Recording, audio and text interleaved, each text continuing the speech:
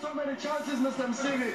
You can only be proud of these Orlando Pirates players. But having said that, you know, I'm, I'm, I'm extremely disappointed as a as a football lover that uh, such a great spectacle is ruined by such such thuggish behavior.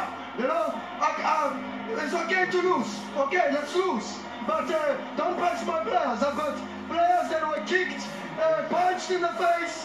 I mean, I mean, what do you say about these things? It's thuggish behavior. Are you talking about the